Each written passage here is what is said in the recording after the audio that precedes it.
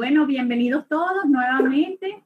Eh, en nombre de la Sociedad Venezolana de Endoscopia Digestiva, su junta directiva y todos los que nos acompañan todos los, martes, los días de webinar, pues les damos la más bienvenida. Estamos hoy nuevamente de lujo, como digo yo, Sobe tiene sus invitados que todos son de lujo. Y hoy tenemos un invitado muy especial, muy apreciado y muy querido por todos nosotros, y es el doctor William Otero. El doctor William Otero, pues no necesita, bienvenido, doctor Otero, muchísimas gracias. Eh, el doctor Otero es profesor titular de medicina, director en gastroenterología, es el director de gastroenterología de la Universidad Nacional de Colombia y del Hospital Universitario Nacional de Colombia.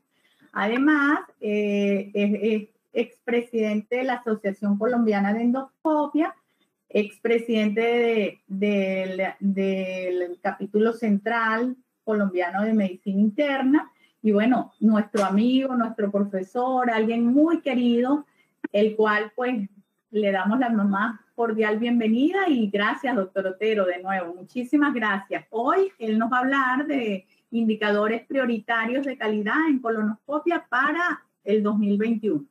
Adelante, doctor. Yuraima, buenas tardes. Buenas tardes a todos. Para mí es un placer. Eh, es un honor siempre que soy invitado a dictar conferencias en Venezuela los quiero mucho, doctor Giorgio. Mil gracias, mil gracias por su gestión, su amabilidad, su paciencia con nosotros.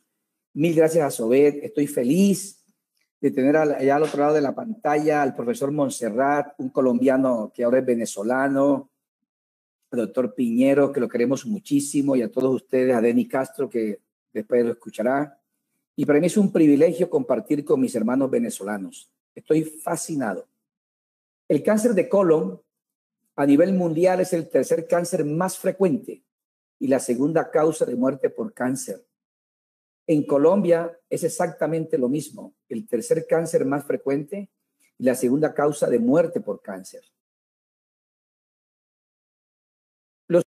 De las últimas dos décadas, cáncer colorectal es el único cáncer en medicina en que la tamización ha demostrado que disminuye la mortalidad. Controlados aleatorizados para la rectosimodioscopia flexible. Y con sangre oculta, la mortalidad ha disminuido 32% cada año y 22% cuando es cada dos años. Y con rectosimodioscopia, la mortalidad ha disminuido un 27%. No existen estudios aleatorizados. Con la colonoscopia sería inético hacer un ensayo clínico utilizando colonoscopia. Pero estudios observacionales, cuando se analizan, se puede inferir, y esta es la cifra actualmente establecida, que la, mortalidad en un 68% por este cáncer colorectal y también, asimismo disminuye la incidencia hasta un 56%. Por lo anterior, la tamización, screening, estudios más recientes han mostrado que 46 a 63% de las muertes por cáncer colorectal que no fueron sometidos a screening. Eso es algo absolutamente importante para un procedimiento imprescindible en la medicina de hoy.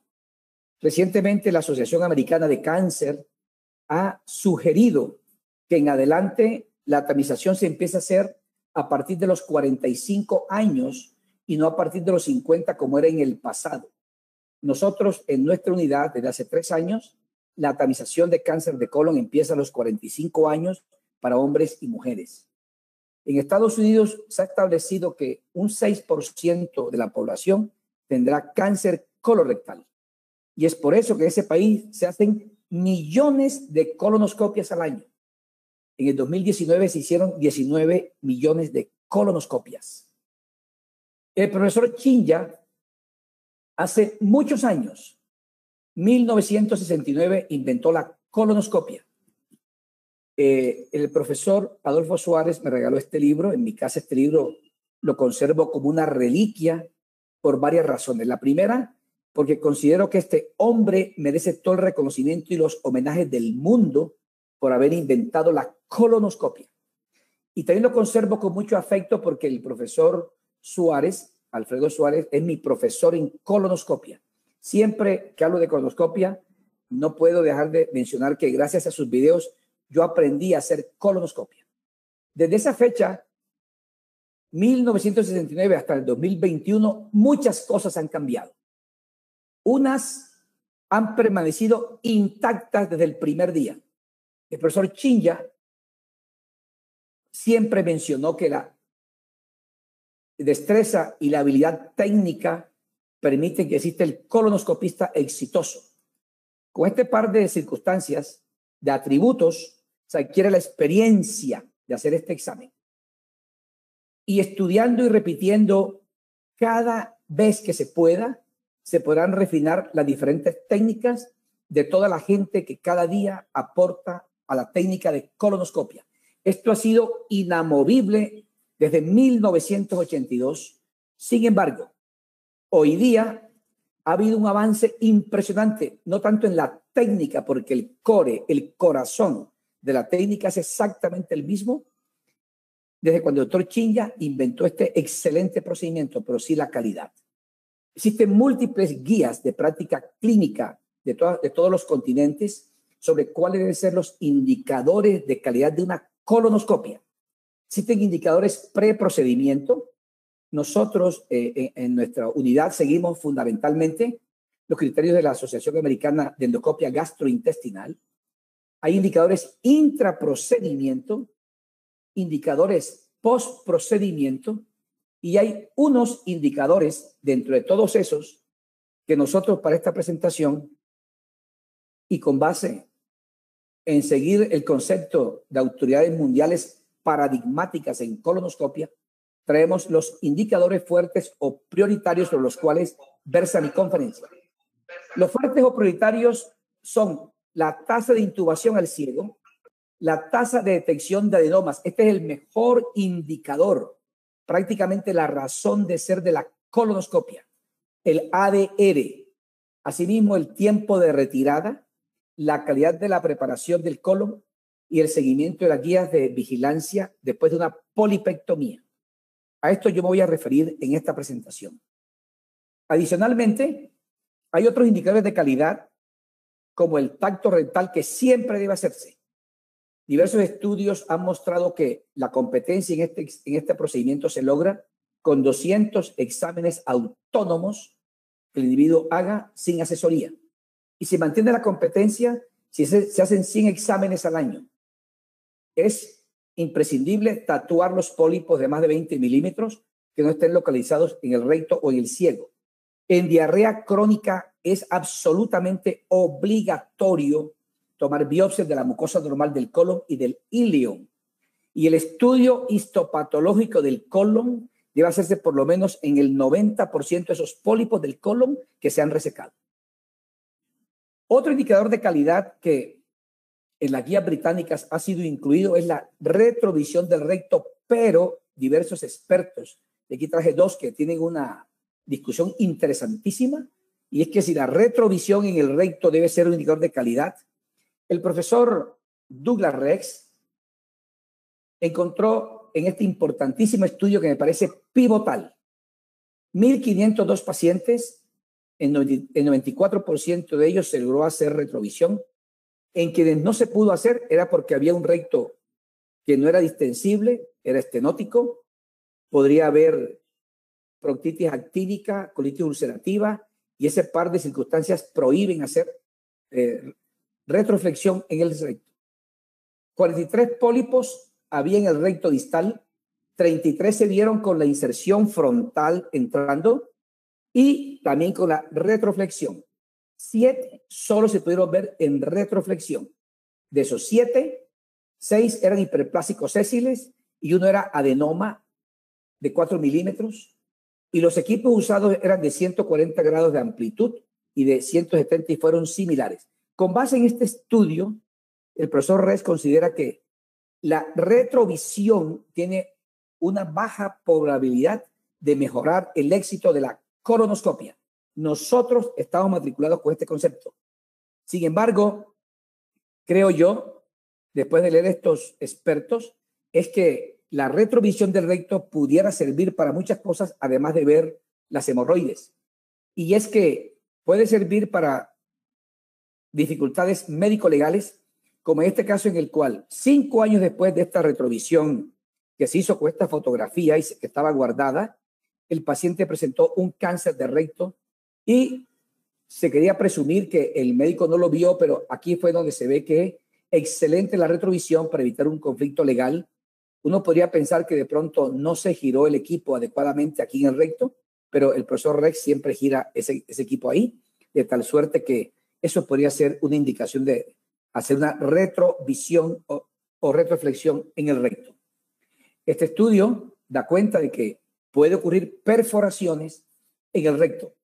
Aquí hubo cuatro casos en 39 mil colonoscopias y eso significa una tasa de perforación baja, pero cada médico en su momento definirá si la hace o no la hace. Yo quiero ser enfático en esta presentación y es que todavía no es un indicador de calidad de la colonoscopia. Otros indicadores que se va a discutir aquí hoy es la tasa de adecuada preparación del colon, que en un servicio de colonoscopia debe ser mínimo del 85%. La tasa de detección de adenomas, que globalmente debe ser 25%, 30% en hombres, 20% en mujeres. La tasa de intubación del ciego, que debe ser 95% cuando es de tamización y 90 o más cuando es para diagnóstico. El tiempo de retirada, que son 6 minutos. El seguimiento de la guía de vigilancia. Estos son los eh, puntos más importantes de mi presentación y empezaré diciendo que seis minutos hoy día ya no son seis minutos, sino que son nueve minutos.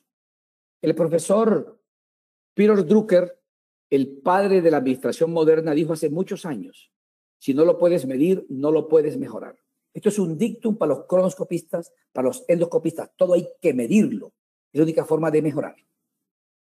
Este interesante estudio publicado este año se encontró una cosa absolutamente interesante. Quiero compartirla con ustedes porque creo que esto aporta mucho a esta controversia. Se ha hecho un estudio aleatorizado multicéntrico en el cual se va a retirar el equipo en seis minutos versus nueve minutos. Seis minutos en el protocolo es un minuto hasta la mitad del colon ascendente, incluyendo el ciego, otro minuto hasta el ángulo hepático, un minuto hasta cerca del ángulo medio del transverso, un minuto hasta el ángulo esplénico, un minuto en el descendente y un minuto del sigmoides y el recto.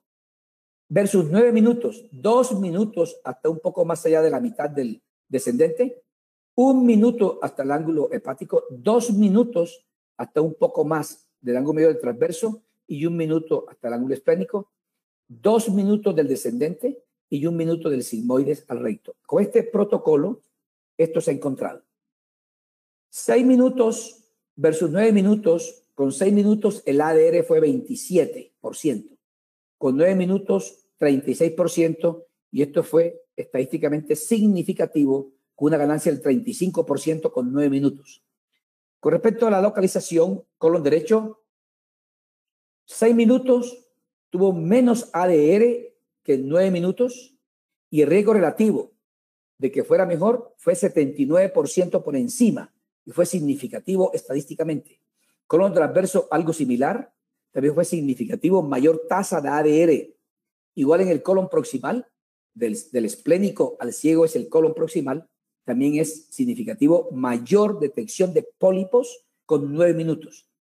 De igualmente, de igual manera, en el diámetro, en el tamaño del pólipo, también fue superior en pólipos diminutos, que son menor de igual a 5 milímetros o menos, y pólipos pequeños de 6 a 9 milímetros, también 9 minutos, tuvo mayor tasa de detección.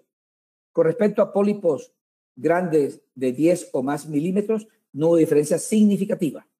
Y también hubo diferencia para los pólipos planos o sésiles, con 6 minutos, 19%, y con 9 minutos, 27%.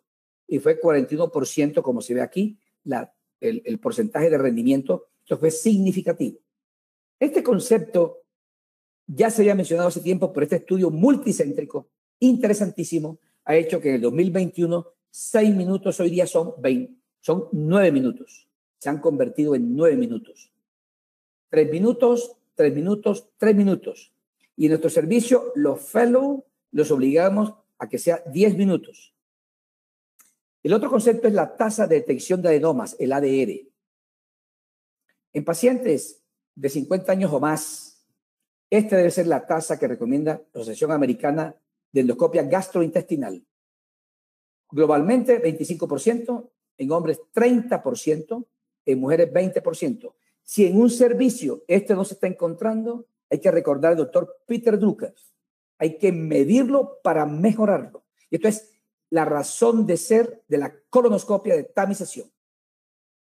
Recientemente se ha incluido que hacia el futuro se estudie que debe encontrarse un 8 a 9% de pólipos cerrados sésiles como parte del indicador de calidad. Estos pólipos son difíciles de ver y por eso hay que entrenar muy bien el ojo y estar muy bien preparado el colon, pero la gente discute si esto debería existir como un, como un indicador de calidad. La importancia del ADR está aquí, en este estudio trascendental. De acuerdo a la tasa del ADR, se disminuye la incidencia de cáncer colorectal y la mortalidad por cáncer colorectal. Por cada 1% de ADR, la mortalidad de cáncer colorectal se disminuye un 3%. Pero este estudio me parece a mí magnífico porque en síntesis uno puede decir brevemente que esto que está aquí en azulito, que es este, o en moradito, tiene un riesgo acumulado de cáncer colorectal que es alto comparado con quien tiene un ADR mayor o igual a 20% en la colonoscopia. Pero lo va a traducir ahorita a un lenguaje mucho más sencillo. Cuando el ADR es más de 20%, la tasa de cáncer es 0.011% acumulativo. Y cuando es menos de 20%, es 0.115%. Esto significa que cuando alguien tiene una tasa de ADR menor de 20%, aumenta 10 veces el riesgo de cáncer colorectal. Esta cifra hay que medirla para que el médico cada día esté mejor. Adicionalmente a lo anterior, la colonoscopia en muchos estudios de muchas partes del mundo se ha encontrado que no es tan buena para prevenir el cáncer colorectal del colon derecho. Hay múltiples teorías, múltiples explicaciones, múltiples plausibilidades biológicas, pero unas cosas mecánicas o macroscópicas pueden ser estas. Que las lesiones, los pólipos del colon derecho son lesiones pálidas, planas, están entre las austras. Y los médicos cada día utilizan múltiples estrategias para mejorar la visión de los pólipos del colon derecho. Uno es utilizar colonoscopios que tienen una amplitud en su visión de 360 grados, el endocov, cambios de posición. Todo esto está demostrado que favorece detectar pólipos en el colon derecho. Pero lo que existe controversia desde hace unos años, en lo que existe es que si una segunda mirada en el colon ascendente y en el transverso podría ser similar a la retroflexión proximal en esos pacientes. Este estudio interesantísimo, que es un ensayo clínico multicéntrico autorizado recientemente publicado de expertos españoles, ha encontrado lo siguiente. Se ha comparado retroflexión versus mirar por segunda vez. Después que se retira, se mira por segunda vez el colon derecho y se ve que son comparables este par de grupos de pacientes, un Boston similar, todo es comparable, no hay diferencia y esto se ha encontrado. El ADR global fue 30%. En la segunda mirada del colon derecho, con el grupo de retroflexión, se encontró 9% más de pólipos. Y en el segundo examen frontal, devolviéndose otra vez a mirar, 12% y esto no fue significativo matemáticamente. La tasa de error global fue 19%, la tasa de no ver pólipos aún existiendo. 17% no vistos con retroflexión y 20% no vistos con el segundo examen frontal. Pero esto no es significativo estadísticamente. Y la duración en minutos de ambas maniobras son similares, 1.66 minutos, 1.58 minutos. Pero este estudio aislado corrobora este, esta revisión sistemática que encontró. Estándar, una cronoscopia, salir y se acabó, versus una segunda mirada, devolverse otra vez y mirar, se favorece que se mire por segunda vez. Y si se compara una segunda mirada versus retroflexión, da exactamente igual en esta revisión sistemática. En una palabra, entonces, cuando se hace una segunda mirada del colon derecho versus retroflexión, da exactamente lo mismo. El profesor Douglas Rex, en un excelente trabajo, eh, ha publicado cómo él cree que sería muy exitosa la retroflexión desde el ciego. El otro parámetro es la tasa de intubación del ciego. En muchos países del mundo se ha determinado en estudios grandes poblacionales de gastroenterólogos que no están en hospitales universitarios, como ese 90 y 95% está elusivo muchas veces en la práctica general. Y la meta es esta, que en personas sintomáticas debe ser mínimo de 90% y asintomáticos mínimo 95%, porque este de intubación del ciego es como se pueden ver más pólipos y se disminuye por cáncer de colon. En la medida en que el individuo hace colonoscopias y aumenta su nivel de experiencia, la tasa de intubación secal tiene una correlación prácticamente lineal. Después de 200 colonoscopias, se adquiere notablemente la capacidad para llegar prácticamente siempre al ciego. Y de igual manera, en la medida en que se intuba el ciego con más frecuencia, se disminuye notablemente el tiempo para llegar al ciego. Y con auditoría y con el propósito de responder a este indicador de calidad, los médicos aumentan notablemente desde 86 a 95%, insisto, cuando son auditados por sí mismos o en su servicio de una manera con esa cofradía tan interesante que debe haber en las salas de endoscopia. No todos eh, los que no llegan al ciego son inexpertos, no. Hay gente absolutamente experta, y ustedes han visto publicaciones del profesor Douglas Rex, donde las ha publicado, expertos le envían a otro experto para que mire el ciego. Pero es tanto el interés en llegar al ciego como de lugar que recientemente se ha desarrollado este interesante colonoscopio cuya área, el bending, es cortico y en vez de dar 180 grados en el up, da 210 grados. Y esto permite sortear ángulos muy agudos. Este cronoscopio que se ha diseñado justamente para resolver el problema de cronoscopias difíciles por ángulos muy agudos, con 210 grados que puede hacer aquí en el lab, se fortalece la probabilidad de que todas sean completas. Y esta investigación demostró eso, que con este colonoscopio que tiene el radio cortico y tiene esta capacidad de, del app de flexionarse, la tasa de éxito en colonoscopias imposibles fue del 92%. En la medida en que el colonoscopista hace muchas más colonoscopias, este estudio, que es una metaanálisis y sistemática revisión, demostró que altos volúmenes anuales de colonoscopia definitivamente permiten que el individuo con más frecuencia llegue más al ciego. Haya menos tasa de perforación, pero quiero contarles, no demostró que haciendo cientos y miles de colonoscopia se aumente la tasa de ADR y de igual manera se aumente o se disminuya el cáncer de intervalo o como se llama hoy día cáncer post-colonoscopia. Uno puede pensar que llegar al ciego es una cosa que depende mucho de las manos y ver pólipos depende mucho del cerebro. Por mucho que se haga, la tasa de ADR no mejora solamente con llegar al ciego. Se tocaría entrenarse a mirar con más detalle la mucosa del colon. Este estudio ha comparado qué pasa con el gastroenterólogo, cirujano general y cirujano coloproctólogo con los más importantes indicadores de calidad.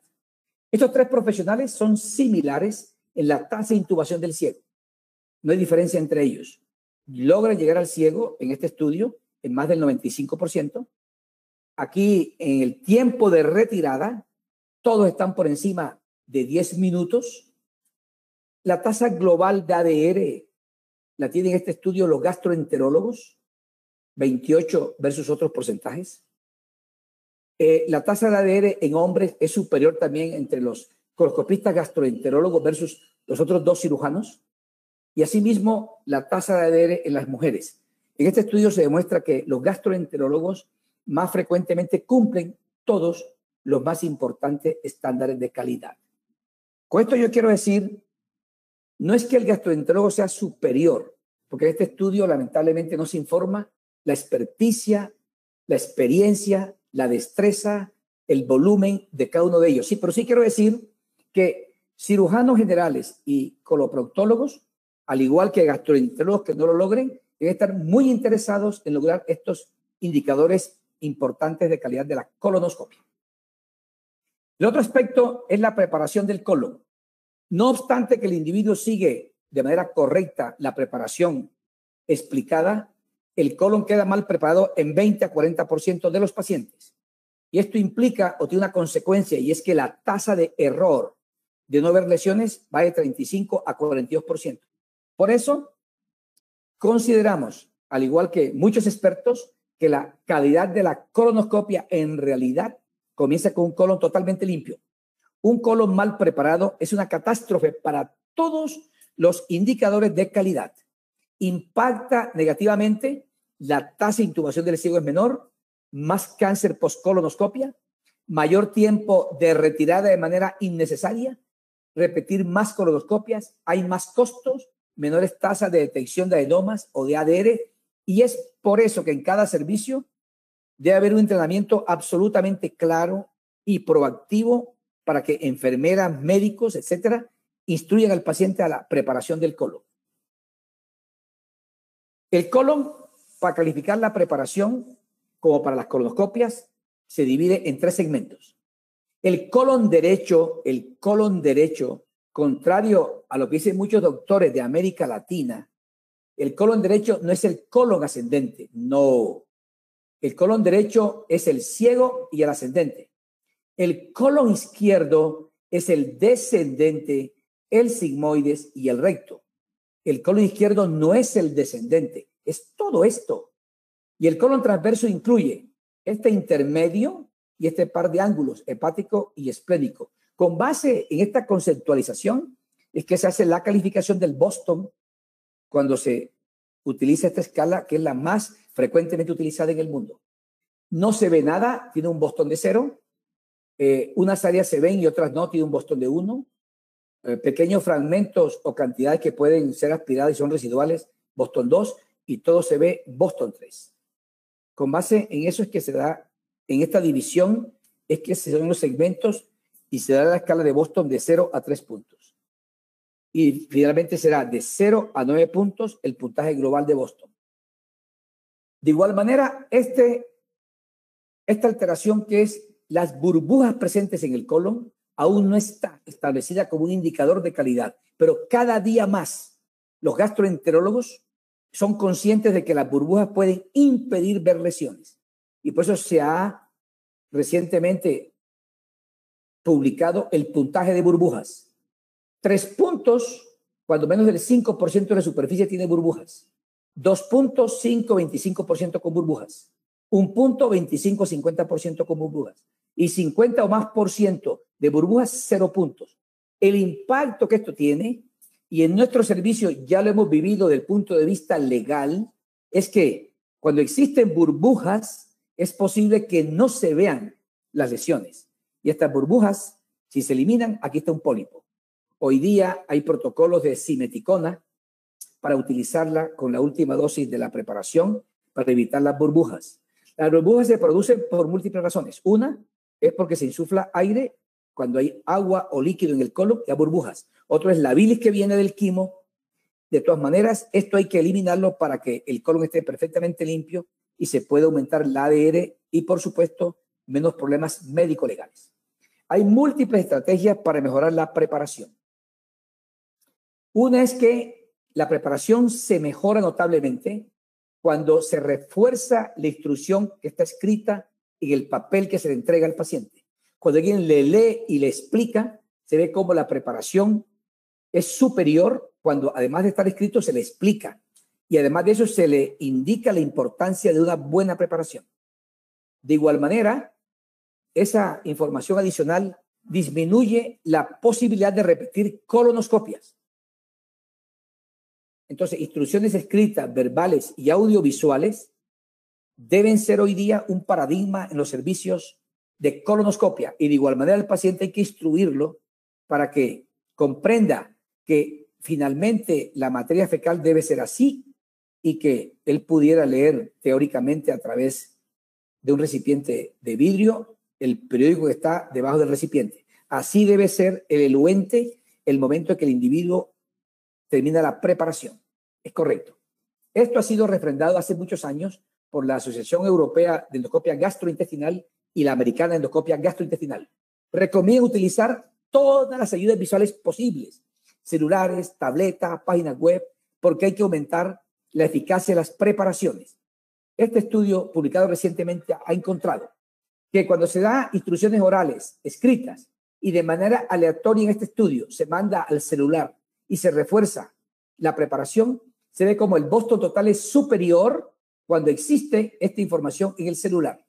Igualmente, por segmentos, esto refrenda el concepto de que a toda costa hay que aumentar la información al paciente y la explicación de los temas.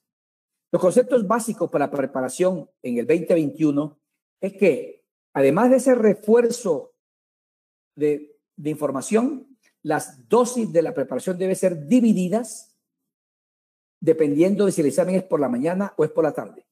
Debe terminarse la preparación dos horas antes del examen. Las instrucciones escritas, verbales y digitales siguen siendo refrendadas y explícitamente recomendadas y la preparación debe ser individualizada. Y este concepto es fundamental. Debe terminarse la preparación y el paciente después de dos horas va a la colonoscopia. Por cada hora que transcurre entre la preparación, la última toma y la finalización de la preparación, 10% de los colon están mal preparados. Es por eso entonces que es importante ese concepto. Si la endoscopia, la colonoscopia es antes del mediodía, la primera dosis es la noche anterior al examen. La segunda dosis debe ser cuatro a seis horas antes del examen y diversos estudios que se han hecho en pacientes que lo sondean en unas entrevistas absolutamente claras, todos, el 90% manifiestan que no tienen inconvenientes en madrugar para prepararse. Esto es así porque le han explicado la importancia de la colonoscopia, que no es cualquier examen. Así, y que sea de esa manera la preparación, reside en que el quimo del intestino delgado, detritus, proteínas, células descamadas, etcétera, que permanentemente constantemente están produciendo, aunque el individuo esté bien preparado, esto se va a volcar al colon y lo va a ensuciar. Y después de dos horas de preparación, empieza la debacle en que hay mucho mugre en el pared del colon. Si es por la tarde, el paciente se puede preparar de manera seguida por la mañana, puede dormir tranquilamente y se prepara por la mañana. Preparaciones aprobadas por la FDA tienen sus inconvenientes, tienen sus ventajas. Yo aquí voy a destacar lo que creo que es importante en el día a día. Una es que la fosfosoda, el trabajo en Colombia, no se puede prescribir, no se puede recomendar a gente de, de 55 años o más, en quien consume medicamentos inhibidores de la enzima convertidora de angiotensina, con falla renal, falla cardíaca, enfermedad hepática, que consuman diuréticos, no está contraindicado porque puede haber alto riesgo de lesión renal por fosfatos. Y la Asociación Europea de Endoscopia Gastrointestinal, rutinario de esta preparación en los pacientes. Además de lo anterior, estos artefactos, no, estas lesiones que produce, son lesiones. Es una inflamación, hemorragia intraepitelial, edema, que para el no experto lo puede confundir con colitis, en Colombia yo he visto muchos pacientes que llegan eh, preocupados porque el doctor ha dicho que tiene enfermedad de Crohn por múltiples úlceras. Esas son aftas producidas por la preparación. En Estados Unidos prácticamente ha sido abandonado. Nosotros, nuestro servicio en gente joven, es cuando ocasionalmente lo utilizamos. Y este es el pirofosfato que produce lesión ahí. Entonces, el gastroenterólogo finalmente elegirá la preparación con base en la eficacia, costos, etcétera. Pero la parte más difícil de la colonoscopia es el volumen. Y hay estrategias para disminuir el volumen. Nosotros tenemos experiencia con la solución de trisulfato, se llama Isinova en Colombia, ha sido comparado con PEC 4 litros, PEC 1 litro en esta nueva presentación, PEC 4 litros divididos, PEC 2 litros ácido ascórbico, citrato de magnesio y pico sulfato en múltiples estudios. El sulfato de magnesio, potasio y sodio mínimo es igual a lo anterior y en la mayoría de las veces es superior. Son 176 mililitros de medicamento, 16 onzas de líquido, da 500 ml y el paciente en la próxima o mil centímetros de líquido ya no es de remedio. Y esos mil centímetros de líquido son agua, té, café, gaseosas, jugos de fruta sin pulpa, no rojos, caldos, no leche, y este es lo que recomienda el fabricante y los estudios publicados. Si la coloscopia es por la mañana, primera dosis 6 pm, repetir por la mañana 5 horas antes, con este paradigma, dos horas antes de la colonoscopia, termina la preparación. Si la colonoscopia es por la tarde, se prepara por la mañana de manera seguida. La eficacia en todos los estudios es del 98% por lo menos. Hay pacientes especiales y esto es una recomendación universal. Pacientes con falla cardíaca, con insuficiencia renal avanzada, definida como depuración de creatinina menor de 30 mililitros por minuto por 1.72 metros cuadrados, cirrosis con asitis, colitis ulcerativa activa es polietilenglicol con electrolitos. Esto es la recomendación de múltiples expertos en el mundo. Entonces, las instrucciones ya no será uno calculando. Hay una plataforma digital que www.isical.com.co, contraseña es no tengo nada con laboratorios Abbott, sino que en mi servicio se utiliza, la enfermera introduce ahí la fecha del examen, la hora en que es el examen y aparece automáticamente la forma en que se debe tomar, se le envía al paciente por el celular, se le envía su correo para que se prepare de acuerdo a esta calculadora que está ahí. El otro indicador importante de calidad es con qué frecuencia se solicitan colonoscopia después de una polipectomía. Hay múltiples guías. Creo que esta es la guía más recientemente publicada y es muy clara y explícita. Una endoscopia de alta calidad que llega al ciego, tenga adecuada preparación para detectar pólipos de 5 milímetros, que el endoscopista tenga adecuada ADR, que el endoscopista tenga resección adecuada del pólipo, Después de que esto ha sucedido, se estratifica el intervalo de la colonoscopia. Esto es un indicador de calidad absoluto. En los servicios de colonoscopia, como uno se le olvida, en nuestro servicio está en la pared colgado para saber cuándo se repite la colonoscopia. Diez años si la colonoscopia fue normal o hay 20 o menos pólipos pequeños hiperplásicos. Es de 7 a 10 años si hay 1 a 2 adenomas menor de 10 milímetros, 7 a 10 años, no es cada año, es un costo infinito. 5 a 10 años, un pólipo sésil cerrado menor de 10 milímetros, 1 a 2, 5, 1 a 5 a 10 años, 3 a 5 años, 3 a 4 adenoma menor de 10 milímetros, 3 a 4 pólipos cerrados sésiles menor de 10 milímetros o un pólipo mayor de 10 milímetros. Con esto yo quiero decir es que esta guía hay que leerla, hay que aprendérsela y hay que tenerla y un año más de 10 adenomas. La importancia de esta guía es que se evitan cánceres y se evitan colonoscopias innecesarias. Los mensajes para la casa de ustedes que yo quisiera dejar esta tarde son estos. Que la colonoscopia es muy importante.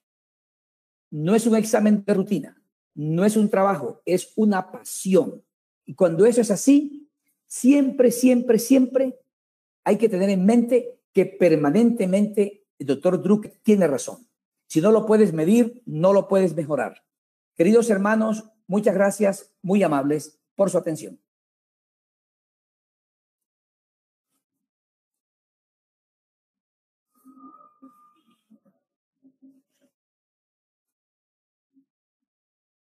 Hola. Doctor. Aquí estoy. Magnífica. Bueno, Yura. No, dale, José. Yo, yo... No, la verdad es que magnífica, magnífica.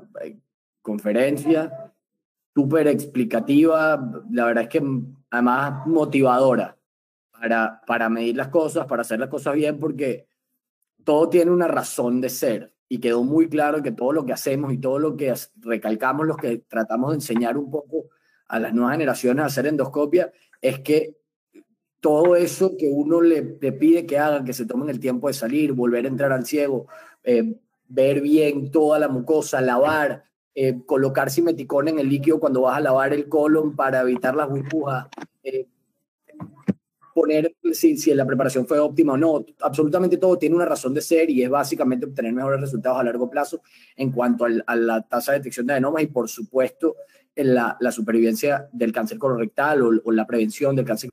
Yo quería hacer solamente un comentario, Doc, y es el tema de la fofosoda en pacientes que tienen hemorragia digestiva, que tampoco se debe utilizar porque son pacientes que tienen poco volumen intravascular y el uso de fosfosoda modifica, o de, o de cualquiera que sea hiperosmolar, modifica el volumen intravascular. Esos son pacientes que ya pueden tener fallo renal agudo por la, por el, por la disminución del volumen intravascular y que pueden eh, tener así, un puede quedarse en un fallo renal crónico. El problema de la, de la, de la nefropatía por, por fosfato es que es una nefropatía que, que persiste, o sea, es irreversible. Entonces es súper importante hacer ese comentario. La verdad es que a mí el tema de la preparación de colon es un tema que me apasiona. Eh, bueno, el doctor Monserrat, Yuraima lo saben y, felicito. Gracias. Bueno, doctor Otero, muchísimas gracias. Voy a invitar al doctor Raúl Monserrat, al doctor Alfredo Suárez, al doctor Víctor Bracho. Todos los tenemos allí, grandes profesores de, que nos han enseñado en colonoscopia el doctor eh, Alfredo Suárez llegó un poquito tarde y no oyó lo que dijo el doctor Otero, donde lo nombra su profesor en colonoscopia, doctor Suárez. Encantada de tenerlo por aquí. El sábado, el doctor Monserrat dio, esta misma conferencia eh, para, los, para los residentes y hay puntos allí donde el doctor hoy hizo muchísimo más énfasis el doctor Suárez también hizo algunos comentarios, entonces me gustaría pues oír los comentarios del doctor Montserrat, del doctor Suárez y Víctor en cuanto a sus indicadores de colonoscopia, sus índices de ADR. También el doctor Suárez insistió un poco en que, y estamos de acuerdo, que aunque no aparece como indicador de calidad en colonoscopia, pues intubar el ilion es importante en qué casos o siempre yo pienso que los residentes y todos debemos saber entrar al idioma para cuando se nos ofrezca, pero bueno, en base a todo esto, pues me gustaría muchísimo oír sus comentarios. Raúl. ¿Y tu micrófono? Abre tu micrófono, Raúl. Lo tiene abierto, creo que es por el, por el audífono. Ah. No te oímos, Raúl. Ahora sí. Ahora sí me No, excelente. Muy buena la, presentación. De, excelente, me gustó. Eh, hay un trabajo de Fayad y Caji que ellos tratan de establecer como una, como tú dices, una medición de la calidad en colonoscopia. Este trabajo es excelente del año 2014. Y él pone en sus parámetros que tú pusiste, los pone, digamos, los que son, el problema es que algunos son realmente ciertos, verdaderos, pero otros se prestan, digamos, ellos dicen que son corruptibles. Por ejemplo, Puede ser que un endoscopista encuentre pólipo en el recto en el sigmoides y su índice de, de, detección de pólipos es alta, pero trabaja en colon que están mal preparados. Entonces, es corruptible en el sentido de que, a pesar de que su índice de detección de pólipos puede ser bueno, al no haber llegado bien al ciego o en un colon mal preparado, se le están escapando las lesiones del colon derecho que son las responsables de ese cáncer. Yo le sigo llamando cáncer intervalo, por cierto. No me gusta llamarlo cáncer post-colonoscopia porque me suena como a complicación inmediata. No sé si asociarlo como una complicación como tal y prefiero el término cáncer intervalo. Yo sé que ahora se está hablando de cáncer post-colonoscopia. Igual, remover lesiones. Remover lesiones es un indicador de calidad para ellos, pero sabemos que un estudio reciente publicado en Holanda en un, en un, hospital de tercer nivel, el índice de resoluciones adecuadas aproximadamente solamente fue de 60%. Es un hospital universitario de alto nivel. ¿Qué pasa cuando trasladamos esas cifras a otras partes? Eso hace peor todavía. Y, por supuesto, la detección de lesiones a cerrar está en el colon derecho. William muy, ha sido muy explícito que hay que explorar muy bien lo que es el ascendente y el ciego, porque el 80% de las lesiones a cerrar se ubican en esa lesión y casi todas esas lesiones son pequeñas y son planas. Si está trabajando con colon mal preparado, no sirve para nada haber llegado al ciego. Si el está, no está limpio, simplemente se escapa de estas lesiones.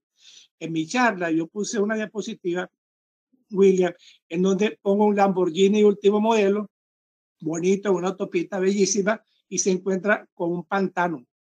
¿De qué sirve el Lamborghini? Mm. No importa que tengas tú el, el endoscopio 4000, lo que sea, si tienes un colon mal preparado, no sirve para nada.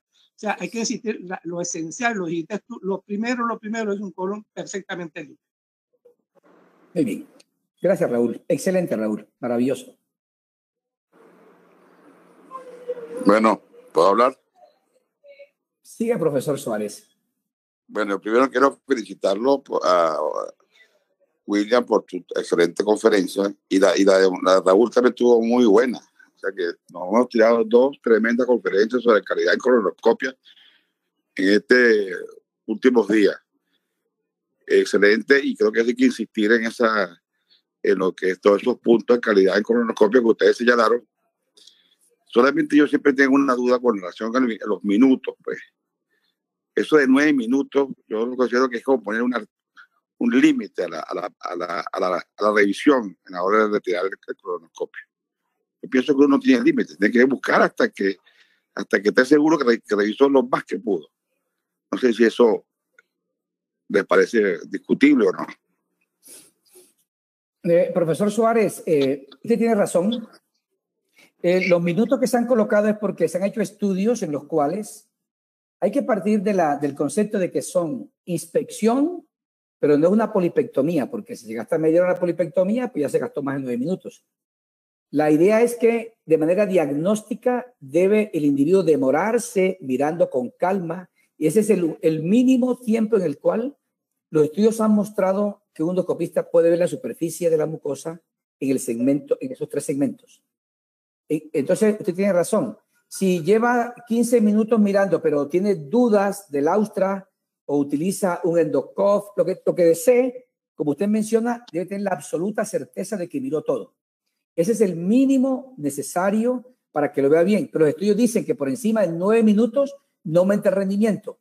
Probablemente están hablando de expertos. Entonces yo creo que en la práctica diaria, cada médico de manera consciente, que tiene mucha autocrítica y sabrá que lleva 15 minutos, pero no ha mirado bien y tendrá que volverse otra vez. Estamos de acuerdo en eso, doctor Suárez. Quiero hacer un comentario que dijo el doctor Giorgio. Eh, claro, doctor Giorgio, totalmente de acuerdo. Muchos pacientes que tienen lesión por pirofosfatos terminan en hemodiálisis permanente, falla renal crónica. Estamos de acuerdo. Por eso es que cada día en Estados Unidos se dice que la fosfosoda es un asesino de riñones. Entonces, habrá que mirar muy bien en qué paciente se va a usar. Nosotros ya hoy día no lo usamos prácticamente. Estamos de acuerdo. Doctor, hay unas preguntas en el chat. Eh, la primera es del, doctor Lilian Uscate y dice, doctor, en cuanto a la preparación, ¿qué puntaje de Boston mínimo debemos aceptar y cuándo suspender? Ok, eh, me parece, todas las preguntas son, son lindas, es espectacular. los pólipos eh, pequeños se ven con un Boston por encima de 6, pero se ha encontrado por varios investigadores que los pólipos cerrados exigen un Boston por encima de 7, totalmente limpio. Entonces, el comentario es que para ver pólipos cerrados que son tan difíciles de ver, exige un colon absolutamente limpio. Entonces, el médico ya va a decidir ahí. Nosotros, Boston, que tenga siete o menos, repetimos el examen, pero con la, la disponibilidad de la bomba de agua de ahí, podemos mejorar cuando se puede en algunos pacientes, pero yo creo que si el Boston está por debajo de siete, ese examen habrá que repetirlo porque el pólipo cerrado no se ve y ese pólipo requiere un entrenamiento especial. Los ojos tienen que estar absolutamente claros. Tan es así que nosotros, el residente que por cada pólipo cerrado que encuentre en el derecho, lo invitamos a almorzar. Algunos siguen famélicos y otros están muy obesos. Ustedes ya saben que algunos no ven y otros sí ven. Eso es una buena técnica. Hola. Bien, bien. Adelante, doctor Bracho. Esto, saludos a todos, a todos los amigos, a tantas personas que tantas, en tantas oportunidades hemos, conversado sobre estos temas tan, tan relevantes. Eh, algunos tips y algunos comentarios eh, eh, bien interesantes puede ser el siguiente. el tema de la burbuja definitivamente es extremadamente difícil a veces de manejar. Quieres eliminar la burbuja, entonces succionas y más bien parece que estuvieras poniendo eh, jabón para lavar los platos porque se hace más burbujas todavía. Y prácticamente se hace en algunas oportunidades, sobre todo en colon derecho, muy difícil de evaluar por esa razón. Hay un producto que prácticamente hace magia, que es el dimetil polisilosano. El dimetil polisilosano, nombre comercial antifón, sobre todo cuando viene en líquido, es uno de los mejores que existen eh, para eh, romper la tensión superficial de estas burbujas que lo que hacen es entorpecer un correcto estudio de la mucosa colónica, tanto o más a veces que si fueran ese.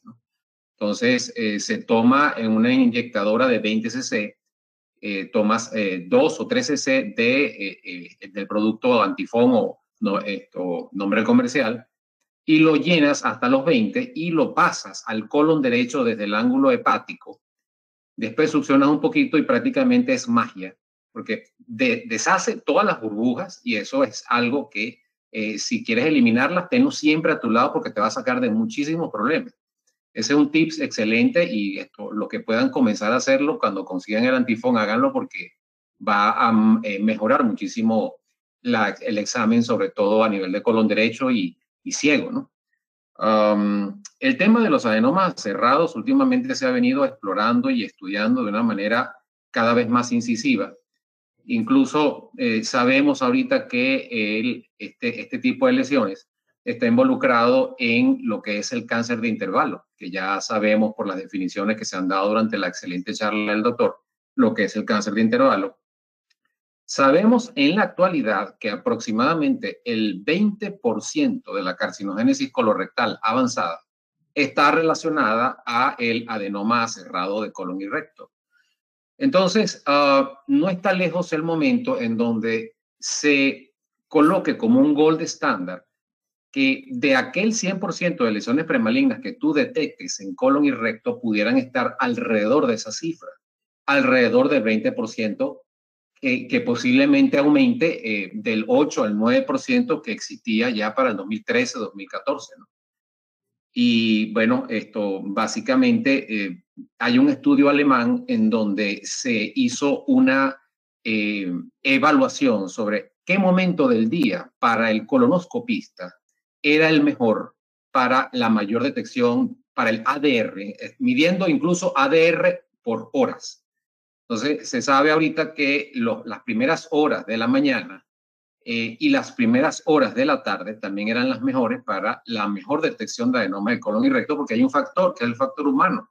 Es el factor de que te cansas, esto es eh, haciendo eh, la concentración que tú requieres para lograr la detección de, y la evaluación detrás, hacia los lados, hacia los ángulos de cada uno de las austras y los pliegues de colon.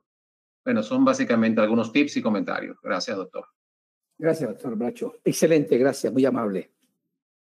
Ah, eh, gracias, Víctor. Eh, tenemos otras preguntas allí, un poco una en relación a lo que acaba de comentar el doctor Bracho, pero le preguntan al doctor Juan cuánto de simetcona se debe administrar en la preparación con Isinova en vista de las abundantes burbujas que a veces se observan. Le pregunta el doctor Ronald Mora. Eh, Ronald, con Isinova em, hay estudios con diferentes preparaciones. Con Isinova no, no conozco, pero yo te puedo enviar, em, te puedo enviar a tu, a tu correo en un momento una fórmula que tenemos nosotros. Debe ser con la última preparación, la última dosis. Varían los productos, pero 15 a 20 ml, pero yo te voy a enviar exactamente cuál es nuestra fórmula que tenemos aquí en el servicio para evitar las burbujas. Siempre la usamos con la última dosis de la preparación. Yo te lo envío entonces a tu correo un artículo sobre eso recientemente publicado. Perfecto, nos lo hace llegar, doctor, y lo enviamos a todos. Muchas gracias. Doctor, hay otra pregunta de la doctora Uzcategui también, que dice usted qué tipo de sedación usa y qué experiencia tiene. ¿Influye la sedación en un buen examen? Sabemos, hoy día está el PISI, o sea, la, capacidad de utilizar eh, menos sedación y que el paciente esté confortable. Pero su pregunta, le voy a decir que en nuestro servicio usamos remifentanil y propofol. Y se ha encontrado que la tasa de detección de adenomas se correlaciona con una adecuada sedación. Hoy día con la pandemia esto ha cambiado muchísimo. Hoy en día no tenemos esos medicamentos, por lo menos en Colombia, y tenemos la desmedetomidina, que tiene un gran problema y es que tiene un periodo de latencia muy largo. Se aplica la dosis 20, 15 a 20 minutos antes de la cronoscopia, de tal suerte que cuando llega a la sala de cronoscopia, el paciente ya está más o menos somnoliento y se hace. Entonces, puntualmente, en nuestro servicio es propofol y remifentanil y lo aplica el anestesiólogo, solo el anestesiólogo. Nosotros no aplicamos sedación. Y algo importante es que un paciente muy sedado tiene un gran problema también para la colonoscopia. Los cambios de posición son fundamentales como una estrategia para llegar al ciego y ver eh, sitios no visibles. Y segundo, que en caso de una complicación, todos los expertos quisieran que el paciente esté alerta y manifieste alguna, eh, alguna sensación dolorosa, alguna inconformidad, y eso alerta al gastroenterólogo cuando está haciendo el procedimiento. Entonces, depende de cada servicio, pero el nuestro es propofol y remifentanil y recientemente dexmedetomidina más propofol. Y esta última combinación estamos justamente evaluándola con los anestesiólogos. Ok, muchas gracias, doctor. Eh, eh, una, una, pregunta, doctor. Eh, ustedes de rutina, porque como le comenté antes, pues no está dentro de los indicadores de calidad el, el entubar el, el hilio. Okay. Ustedes, ustedes cuando lo recomiendan, siempre el, el, residente debe salir entrenado. Algunos tips como los que nos dio el doctor Suárez para entrar más fácil al hilio, todo eso. Gracias. Excelente, gracias. Bueno, eh, decimos al residente que en lo posible, siempre que haga codocopia, ingresa al ilium, por muchas razones. Por muchas razones. Los estudios han demostrado que ingresar de manera rutinaria al ilium no aumenta de manera considerable el hallazgo de patologías, de manera rutinaria. Pero ingresar al ilium permite que el individuo adquiera la destreza para que entre cuando lo necesite. Eso, eso es absolutamente claro.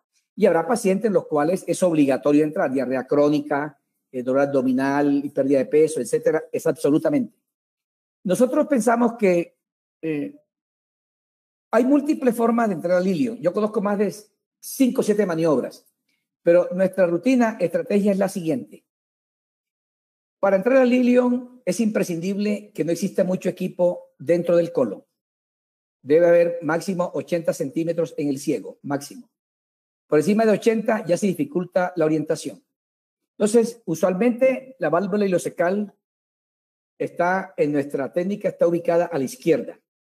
Entonces, el médico hace una rotación antihoraria, hace up y se pega a la, a la pared izquierda, donde está la válvula, y saliendo muy despacio, ingresa ahí. Ocasionalmente depende del tipo de válvula. Hay válvulas muy pequeñas, con labios muy finos. Entonces, después de varios intentos, la boca se puede abrir. Debe estar totalmente, en casos difíciles, desinsuflado el ciego. Y esa es la maniobra que nosotros más frecuentemente utilizamos. También se describe, el profesor Suárez un experto, con la técnica, teniendo en cuenta que el orificio appendicular se comporta como un arco y en el centro del arco en todo el centro, hacia adelante va la flecha y encuentra la válvula ileocecal. Nosotros nos parece más eh, expedito entrar al, al ilion, ubicada la válvula a la izquierda, up y rotar contra horario y casi 100% llegamos ahí. Pero un tip es que el colonoscopio no puede estar introducido más de 80 centímetros. O entre menos esté, mejor. Es más dócil para hacer la maniobrabilidad y llegar. Y por supuesto, si es difícil, se puede desinsuflar completamente y más fácil ingresar. Sería mi comentario sobre ingresar al ilio. ¿Y hay algún otro comentario, doctor Suárez? Que... Doctora, hay otra pregunta. Eh, realizan preparación de colonoscopia con manitol y en ese caso, ¿cómo lo usan? Nosotros no usamos manitol, yo nunca lo he usado. Cuando era residente de gastroenterología, eh, me interesó mucho el gas intestinal. Escribimos un libro sobre gas intestinal y me atormentó mucho saber que el manitol produce metano, produce que es un gas comburente y con la polipectomía leí como 10 artículos sobre una explosión del abdomen con el manitol. Entonces, eh, mucha gente dice que las cantidades, las partes por millón que se logran con el manitol, le voy a decir, nunca lo hemos usado, no lo recomendamos, hay productos absolutamente seguros que han sido publicados y seguimos polietilenglicol frecuentemente y más recientemente el trisulfato de sodio, potasio y magnesio, que es el Isinova en Colombia. Entonces, polietilenglicol es el estándar con el cual se compara todo. Nunca hemos usado manitol. Doctor Montserrat. ¿Está ahí? Dígame. Aquí estoy, dígame. Tu opinión del manitol.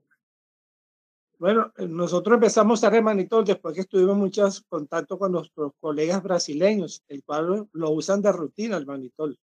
Y ciertamente el manitol en un colon perfectamente limpio no tiene ningún problema de explosión.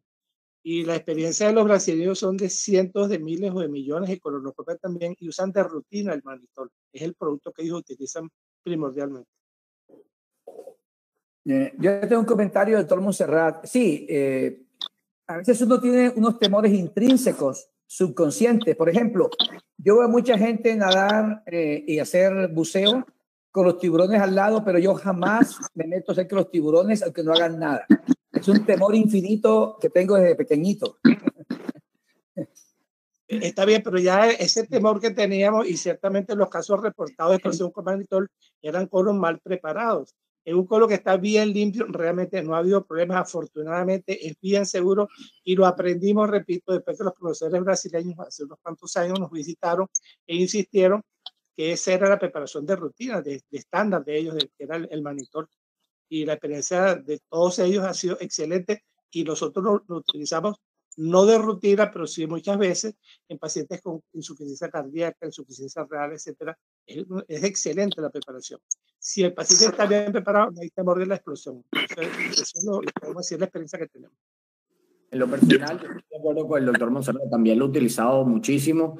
Es muy buena, se tolera muy bien porque es una preparación de bajo volumen que, que limpia bastante, bastante bien y además el sabor no es desagradable para los pacientes y, la verdad es que se quejan muy poco de la preparación con manitol y limpia bastante bien. Yo no he tenido ninguna mala experiencia, incluso haciendo procedimientos eh, terapéuticos.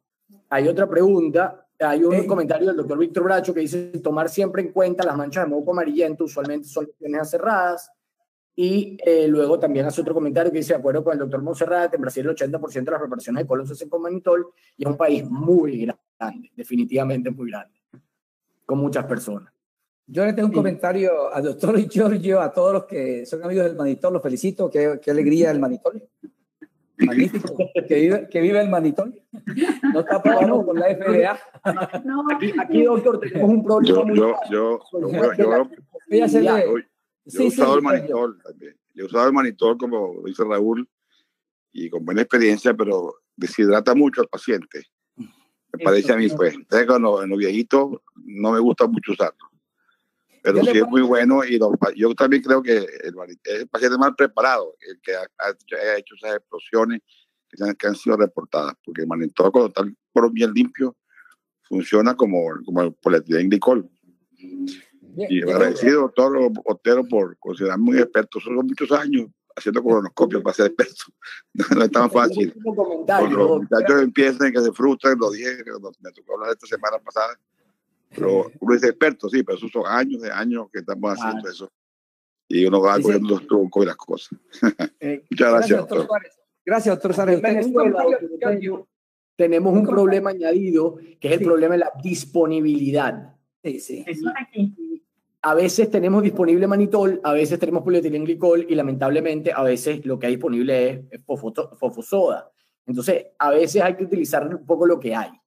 Y, hemos aprendido a utilizarlos todos de la manera más segura. Yo, por ejemplo, doctor Suárez, yo le digo a mis pacientes que tomen la preparación con manitol y después de la preparación con manitol tomen un litro, un litro y medio de agua, o lo intenten al menos para evitar esa deshidratación, porque los pacientes sí se deshidratan, tiene razón. O, por lo menos... yo, no sé qué, qué opinas tú, quiero poner limón y queda como limonada. Perfecto. Ah, no, exactamente lo mismo. eh, eh, tengo un comentario, Yuraima y Giorgio, si me permiten. Eh, he estado atento a todo eso, me encantan ustedes. En mi diapositiva, el doctor Peter Drucker a mí me ha enseñado demasiado. Yo estudié epidemiología, eh, me tocó exponer un libro que se llama La gerencia en el siglo XXI. Y con estos eh, individuos expertos en medir las cosas, le voy a una propuesta a todos ustedes de manera muy cordial, y es que eso hay que medirlo. Ya nosotros a estas alturas de la vida, ya no que me ha ido bien, que Aquí una señora me dijo que el COVID de ella se curó con moringa y me lo demostró. Todos están curados con moringa y todos toman moringa. Fantástico, fantástico, fantástico. Miren ustedes que eh, la preparación de colon es una ciencia aparte. Es una cosa absolutamente novedosa, de una dinámica increíble. Y para que un producto lo aprueben debe tener absoluta seguridad. Entonces eso es sencillo. Eh, hay un estudio aleatorizado y punto.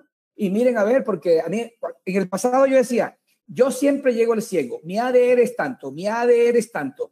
Hasta que un día en un EpiInfo, mi secretaria le dijo, muñeca, ¿me vas a auditar, por favor? Mentira, llegaba al ciego como el 40 o 50%. Además lo veía de lejos. Y después que el ADR, yo era un experto en ADR 50%, mentiras.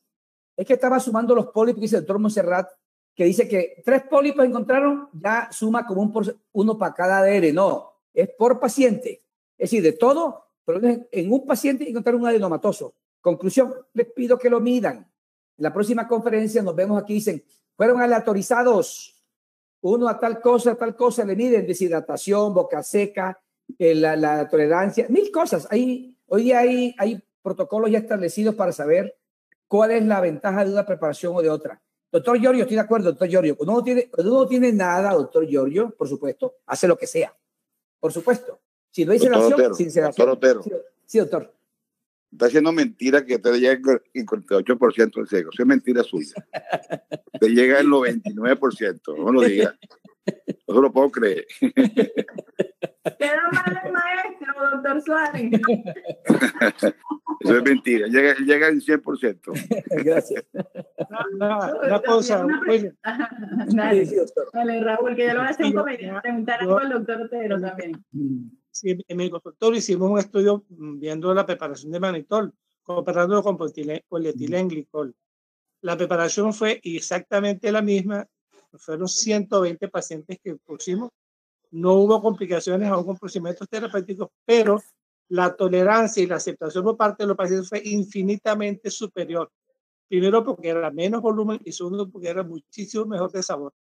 Si el estudio en consultorio, es cuestión de hacerlo más grande, me parece bien lo que tú dices, pero de nuevo, tenemos la base de los brasileños que son unos cuantos millones de colonoscopias y lo hacen de rutina, que eso pienso que tiene algún valor. No, no, no, Raúl, Raúl, Raúl, que, bueno, estamos conversando entre amigos, ¿no? Eh, muy cordiales. Eh, le voy a contar, nosotros hoy día, no siempre hemos visto el mundo de otra manera, ¿no? Eh, hay una cosa que se llama en medicina la consistencia. Significa que en cada lugar donde se hace algo tiene resultados similares, o por lo menos están en los intervalos de confianza. Eso tiene un mensaje contundente. Es decir, eso hay que repetirlo, eso hay que repetirlo. Eso hay que ver si la etnia de los brasileños es la etnia del venezolano, genéticamente podemos ser diferentes. Bueno, yo quiero decir es que si no lo puedes medir, no lo puedes mejorar. Eso hay que investigar. Nosotros acá no, ese trabajo me parece excelente, maravilloso, pero tú sabes que uno manda los trabajos a publicar y viene el editor y le empieza a preguntar cosas y se demora. Conclusión, te, lo felicito, el que usa Manitol, no pasa nada, no pasa nada, tranquilos. Nosotros miramos lo que está publicado y eso vamos haciendo y cuando no hay nada publicado, pues vamos intentando. Pero así es la medicina. Esto, una, un comentario, Daima. Ajá, Víctor. Y ya casi cerrando por la hora. Ajá. Esto, sí, Yuraima. Eh, fíjense algo muy interesante y es que toda la literatura que hemos leído, que ha sido bastante y que hemos conversado en función de cuál debe ser el ADR para considerarse usted un buen colonoscopista, un regular colonoscopista o un, colonoscopista muy amateur. Sin embargo, toda esa literatura, eh, por encima del 20%, por encima del 25%, por encima del 30%, viene de países en donde la incidencia de cáncer colorectal está por encima de 30 por 100 mil habitantes. A la fecha no se ha estudiado en ningún país del mundo cuál debe ser el ADR para cada colonoscopista en función de la tasa de mortalidad por cáncer de colon para cualquier país en función de su propia demografía. Ah, por ejemplo, en Venezuela la tasa de mortalidad de cáncer de colon está aproximadamente 10 por 100 mil habitantes, entre 8 y 10 por 100 mil habitantes. Entonces, luego, esa es la tasa de, eh, del, ADR para el colonoscopista que labora en el área venezolana. Lo importante, también hay una variabilidad de eh, eh, incidencia de cáncer de colon según estrato social. También eso ocurre. Entonces, bueno, estos son factores a estudiar en un futuro porque básicamente los países en este tipo de incidencias son países, eh, esto, por ejemplo, eh, Uruguay, Argentina, sobre todo en Sudamérica, eh, Estados Unidos, Europa. Poco viene publicado de países latinoamericanos en donde usualmente la tasa de incidencia y mortalidad de cáncer de colon no es la misma. Bueno, es un comentario de lo, de lo que puede venir. Bien. Doctor, una pre como hay residentes y bueno, todos queremos saber, rápido explicarnos cómo se hace la tasa de, detección. Y ustedes allá en la universidad, eh, eh, regularmente, ¿cuándo lo miden? ¿Cómo, es, ¿Cómo se hace esto? Explíquenos un poco para... Bueno, eh, debe encontrar pólipos el residente, igual que nosotros, en uno de cada cuatro hombres, mínimo pero sería mejor uno de cada tres hombres. En una de cada cinco mujeres que van a coloscopia debe encontrar pólipos. Mejor dicho, en uno de cada cuatro pacientes que van a coloscopia debe haber pólipos. Pólipos enomatosos. Y si encuentra 20 pólipos adenomatosos en un paciente, se aplique como que encontró pólipos en un paciente, no tanto no, en un paciente. Entonces, ese por cada cuatro pacientes, en uno debe encontrar pólipos. Por cada tres hombres, en uno debe encontrar pólipos. Y por cada mujer, cuatro debe encontrar pólipos. Es decir, eh, de cada cinco, perdón. Eso es lo que le exigimos. Si no encuentra pólipos, decimos, ¿cuántas colonoscopias hizo el doctor? Vemos ahí el informe, ningún pólipo. Así, ah, 10 pólipos. Entonces, en los próximos 15 días dirán cuántos eran adenomatosos. Y eso es lo que le aplicamos. Y le insistimos en que debe buscar pólipos. No puede decir que, que en esta población no hay pólipos, que aquí no, no, no.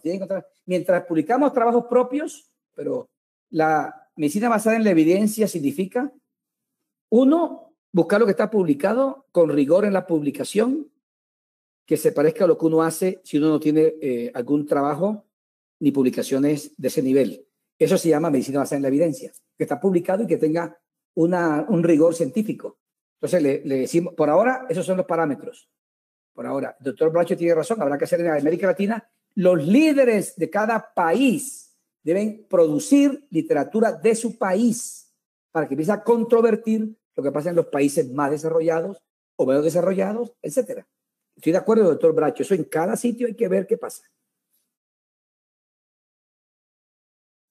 El doctor Bracho hace también esa aclaratoria que no de colonoscopias totales, como adenoma por ciento, o sea, lo que acaba de explicar usted. Yo, yo, yo creo que también, eh, eh, doctor, hay que estar claro en que la tasa de detección de adenoma se aplica al número de colonoscopias de cribado de cáncer colorectal o de despistaje de cáncer colorectal que hagamos. O sea, de, no de pacientes que, que tienen factores de riesgo, no, no, no de pacientes que tienen síntomas de alarma. Esos pacientes quedan por fuera de las colonoscopias que vamos a tomar en cuenta para, eh, para, para, determinar la tasa de detección de adenoma. O sea, es de, cuántos, de cuántas, de las, del número de colonoscopias que hacemos de despistaje de cáncer colorectal. Así es, Giorgio. Yo no lo mencioné porque es de perogrullo, es de perogrullo. Pero bueno, obvio, vamos a decir, vamos a decir culpable y no de lo que la gente interpreta. Eh, sí, tranquilo. Tamización o screening, un examen diagnóstico que se hace en una persona totalmente asintomática. Correcto. Ahí donde se mide el ADR. En pacientes con síntomas, esa colonoscopia no se llama de tamización, se llama colonoscopia diagnóstica. Ahora bien, uno puede, eh, si le sigue subiendo la complejidad, habrá que decir lo siguiente. El ADR, eso en población general, pero hay factores de riesgo que pueden modificar el ADR. Por ejemplo, pacientes obesos, pacientes hipertensos, pacientes, eso, en esos individuos, su grupo de pacientes no se ha definido cuál es el ADR. Voy a decirlo de otra manera. Por cada un centímetro que aumenta la cintura de un individuo por la obesidad, hay un porcentaje de cólipos. Con el doctor Denis Castro hicimos un estudio eh, colaborativo eh, interesantísimo en el cual encontramos que la obesidad se asocia en nuestra población venezolana y colombiana a mayores pólipos. Entonces, usted tiene razón, querido doctor Giorgio, que es pacientes que van a tamización. No son pacientes tampoco de, la colonoscopia puede ser tamización en el asintomático. Puede ser un examen diagnóstico cuando hay síntomas o puede ser un examen de vigilancia cuando hay antecedentes de cáncer de colon en un familiar de primer grado. Ese no entra en el ADN. Ese es distinto. Totalmente de acuerdo. Bueno, yo creo que... Sí, ya, yo creo que se agotó las preguntas, todo. Bueno, nuevamente, doctor Otero, agradecida infinitamente en nombre de la sociedad, darle las gracias y de todos sus amigos de de Caracas, de Venezuela, que lo apreciamos muchísimo y que nos encanta oírlo.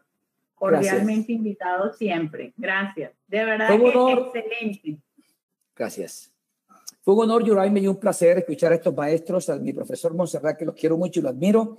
Profesor Suárez, ya sabe, usted estaba presente, doctor Suárez, pero conté que tenía en mi casa el libro del doctor Chinja que usted me regaló y lo tengo como un tesoro, primero porque rindo homenaje al doctor Chinja Segundo, porque nada es igual al tercero, porque usted me lo regaló y es mi profesor de colonoscopia. Hay una cosita, una, una cosita que quiero decir. El doctor Chichi inventó la colonoscopia individual. Eso nadie se lo puede quitar. Sí. Él lo dijo. No lo dijo, ¿verdad? Así es. Sí, sí lo dijo, claro, lo dijo. Porque ahora parece que el doctor Cudo, el doctor Cudo dice que lo inventó él. No sé si vieron el último el último número de la revista de video de, dos copias. El doctor Cubo dice que él es el que hace, el que inventó la técnica de, de, recorte, de recorte del sigmoide. En ese rollo no me meto, entre Cudo y Chilla, y Chilla se murió y no hay forma de, discutir entre los dos. No, está bien. Gracias, doctor Suárez. Un gran saludo, William. Gracias, doctor Montera, doctor Víctor, todos gracias. Los invitamos cordialmente para este sábado en nuestro acostumbrado que hacemos una vez al mes, de lo básico a lo complejo. Están cordialmente invitados. Los ponentes van a ser el doctor Denis Castro con la doctora Liscano y bueno, nos, dan, nos van a hablar de detección de lesiones prenioplásicas en estómago. Entonces quedan todos cordialmente invitados y de nuevo, doctor Otero, gracias a todos. Un abrazo. Un abrazo.